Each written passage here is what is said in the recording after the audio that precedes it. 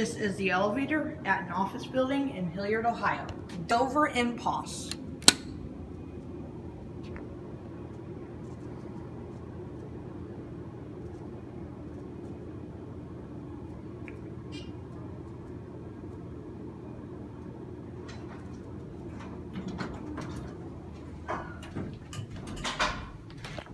Two.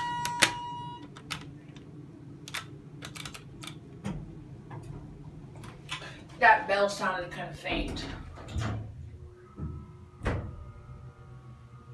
Very quiet hydraulic motor. Dover Buzz, of course.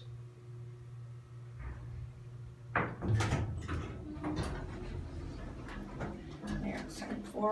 Hey, Dad. Coming down? Yeah, Where are you going? one. Okay. Um, so I got a or a voicemail from Maryhaven, and they said that my result. They did say that. So basically, something is showing up on my background check, and I have to write them a letter, um, explaining what it was, and um. No, so and I talked to Molly about it, and she said that. Um, she said that. Okay, sorry about that, guys. Someone was coming down. Someone was coming down with us, and I have to get a cab view quickly. So here's the cab. It's pretty new. It's not that bad. Well, we'll exit, and we'll watch the doors close up.